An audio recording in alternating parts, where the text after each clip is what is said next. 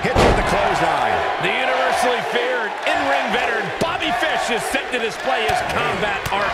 And this is one of those matches where it's hard to believe we get paid for this. Well, actually, it's hard to believe Saxton gets paid for anything. And I can't help but wonder how the champ's game plan differs, if at all, knowing that the title is not on the line here tonight.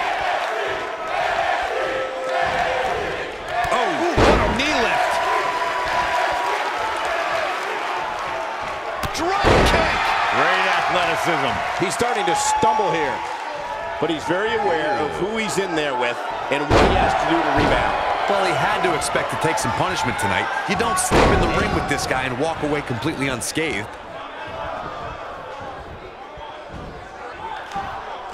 And he lands the slam.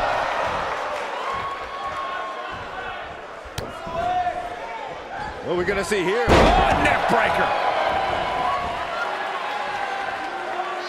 Sent railing with the knee drop.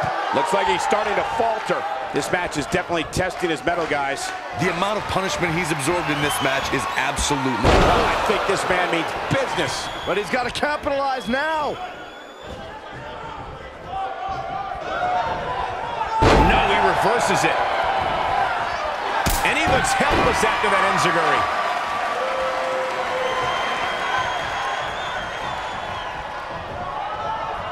EC3 going for it.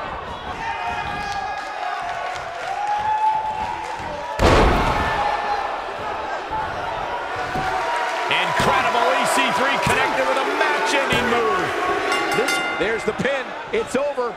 It's all over.